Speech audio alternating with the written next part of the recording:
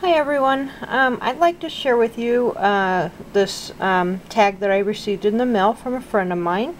Um, her name is Cathy and um, she's better known on YouTube as 55catty. I will put a link in the description box below to her channel. Um, this was really unexpected um, but she said she wanted to send me something and and uh, this is what she sent me. Sorry, struggling for words today. Uh, don't know why, but um, that seems to be the pace lately. I think it might be the new medication I'm on. I don't know. Maybe it's just my scatterbrain hasn't had enough sleep. Who knows?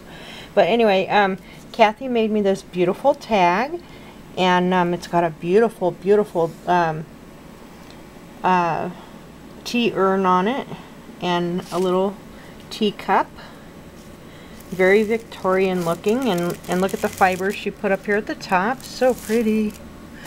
And some pretty lace down the side and um, I don't want to really show you the message she wrote me on the back but I want to show you the flower at the top.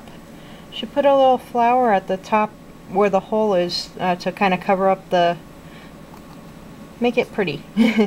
But um, she wrote me a really pretty message on the back.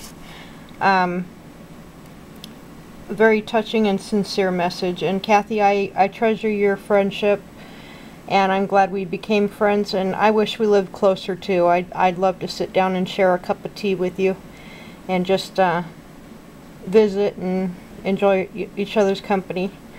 Okay guys, um, that's it for this video I guess. Um, oh, also look, there's a little flower up there. I just saw that one. How cute is that?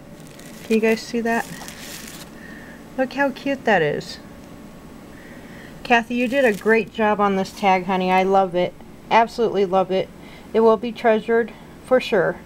I'll make sure it gets a special place in my craft room once I have a craft room again. for now, I will keep it wrapped up in tissue for um, safekeeping. Alright, thank you all for watching. Have a great day, and uh, please leave a comment below, and I will talk with you soon. Bye-bye.